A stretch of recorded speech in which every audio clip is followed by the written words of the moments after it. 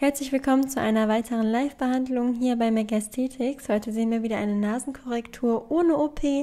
In ja, wenigen Sekunden wird hier eine schöne Nase gezaubert. Vor allem ist unserer Patientin wichtig, dass der Höcker korrigiert wird und die Nasenspitze angehoben wird. Dies passiert natürlich immer nur mit einer Hyaluronsäure vom Marktführer und auch nur durch Fachärzte für plastisch-ästhetische Chirurgie.